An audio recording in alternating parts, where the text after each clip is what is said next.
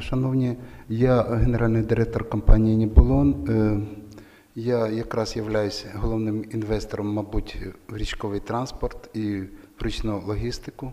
І е, сьогодні на попередніх панелях е, виступали, говорили за це, що у нас дуже погані шляхи автомобільні. Я можу сказати, що у нас річок десь 1500 кілометрів. Це надпрекрасна асфальтована дорога, шлях, який не треба ремонтувати кожен рік.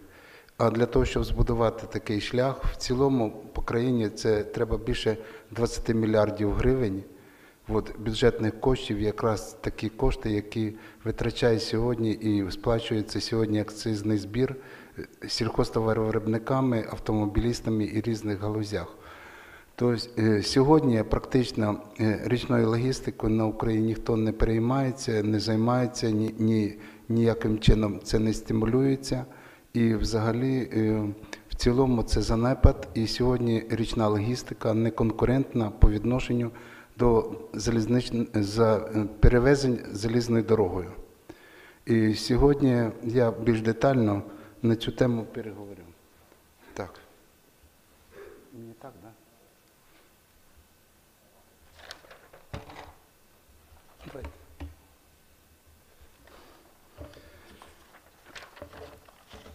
Наша компанія практично е, займається системно і вимушені ми сьогодні сказати, що ми Південний Буг копаємо за е, власні кошти.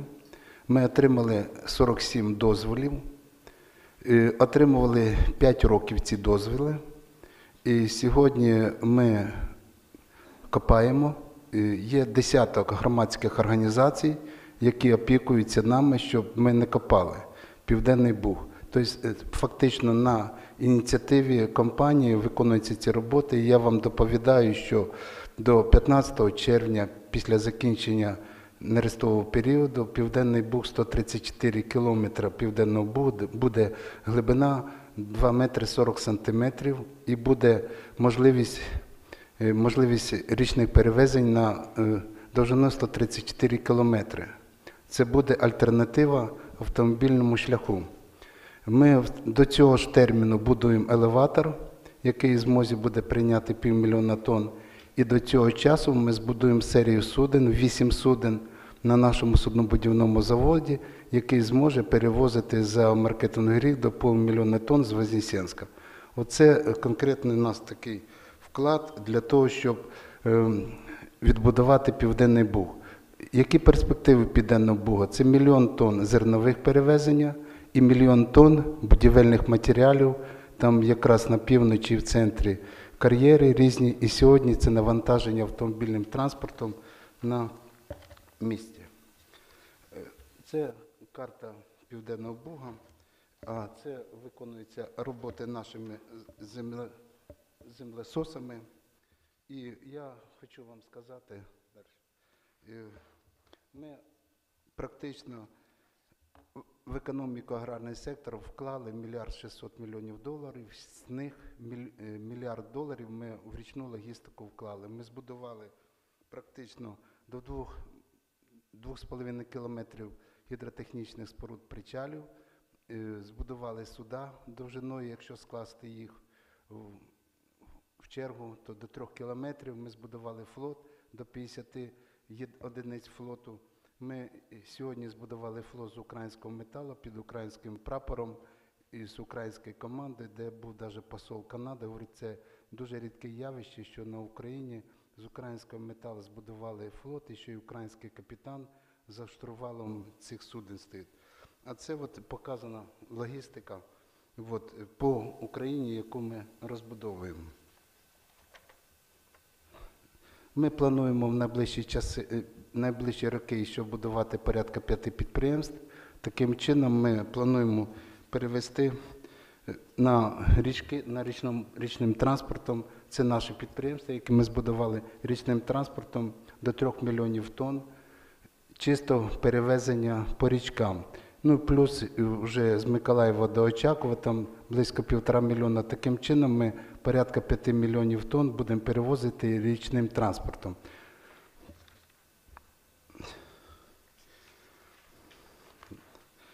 Ми е, для того, щоб реалізувати цю програму, ми маємо суднобудівний завод, на якому успішно будуємо.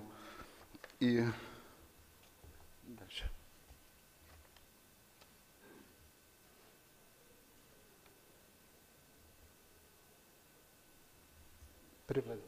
Перевертайте далі. Наша компанія дослідила досвід е, Америки, Європи, Білорусі. Я зараз покажу, е, якими ми перевантажувальними терміналами користуємося. Це наш флот безпосередньо далі. Це ми теж збудували судно для того, щоб на Дніпрі оперувати. Ми вивчили досвід Америки, Європи і Білорусі. Показуйте, будь ласка. От Америка, от такі баржові состави йдуть по Америці. Це один буксир перевозить до 50 тисяч тонн, це на Панамак зерна перевозить по Місісіпі. Я рахую, якби не було Місісіпі, то, мабуть, не було б і Америки. От, в цілому. Я не знаю, що б робила Америка, якби не використали цей водний шлях. Будь ласка, далі. Це європейський вигляд. Далі. Це в Європі навіть мости, е, річні мости будують, щоб суда ходили навіть як на автомобільний транспорт на перехрестях. І далі Білорусь, будь ласка, покажіть. А це Білорусь. От, е, бачите, от там є наказ президента, щоб заборонити вдоль річок перевозити будь-які будівельні матеріали.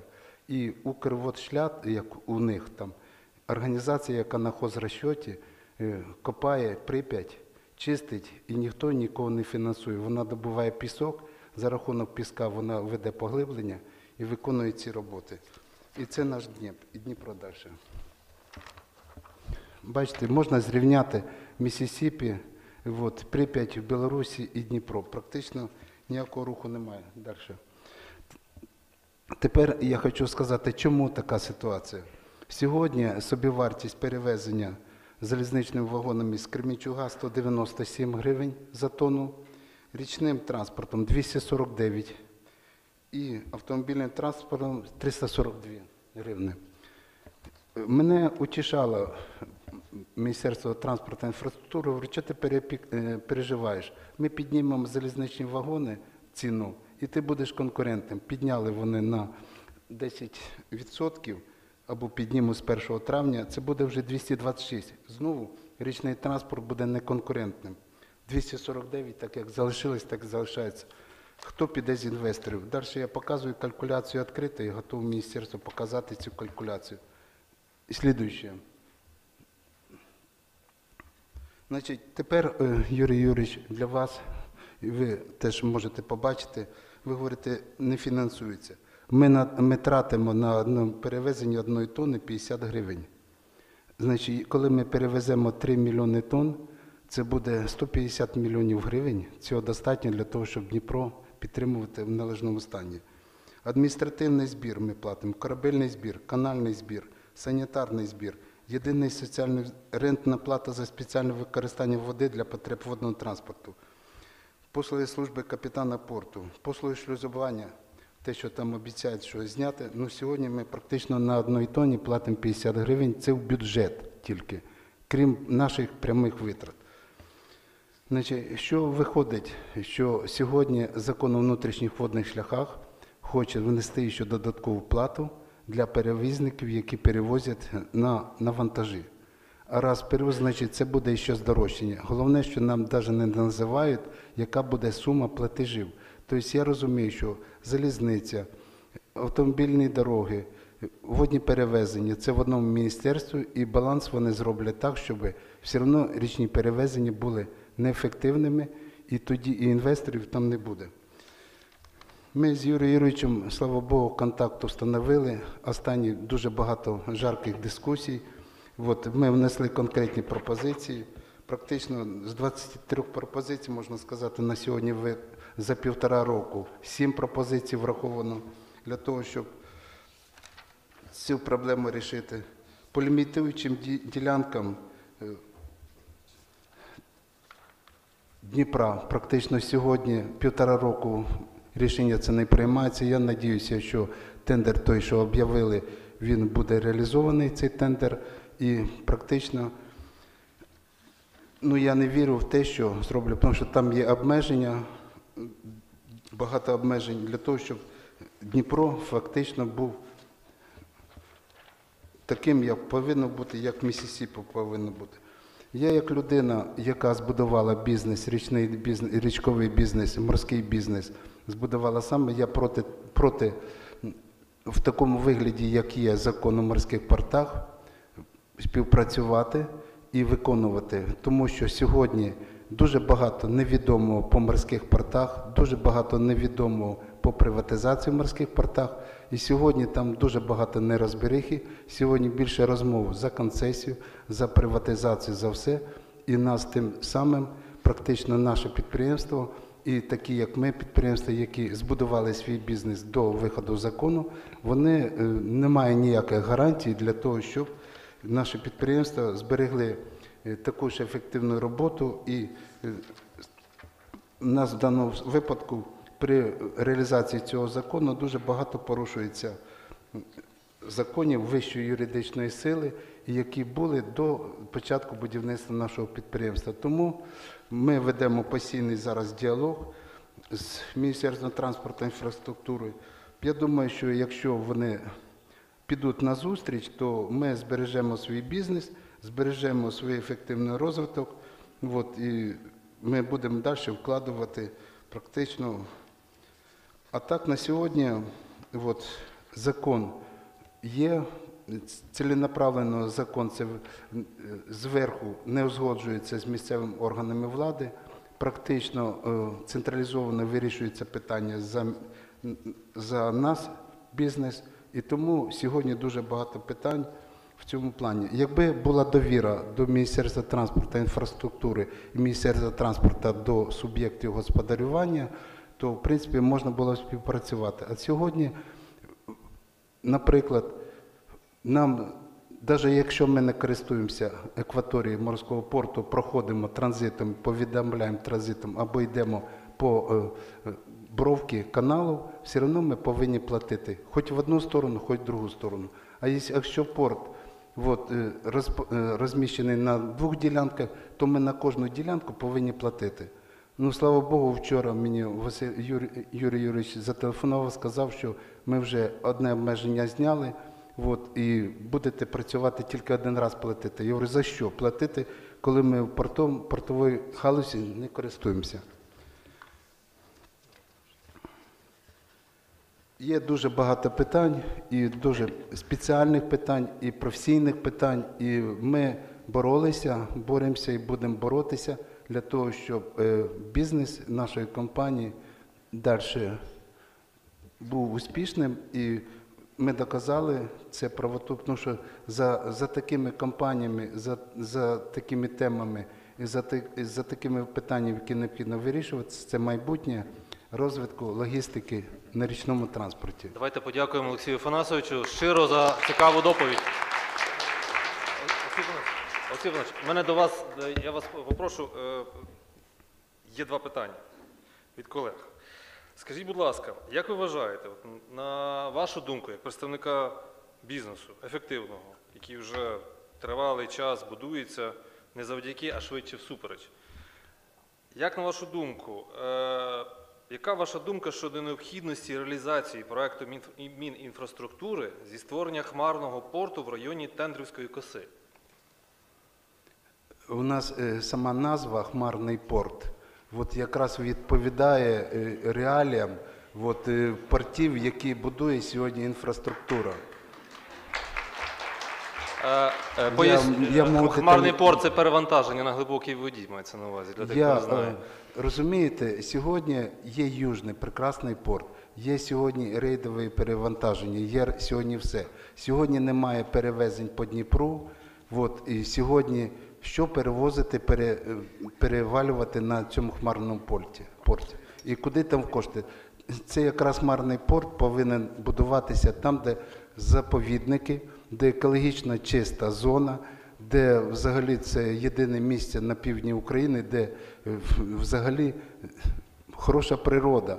І ми прийдемо порт, перевалимо там вуголь чи, чи там шлаки якісь, чи що, і буде взагалі з півдня нашої області, там ви самі розумієте, що там буде.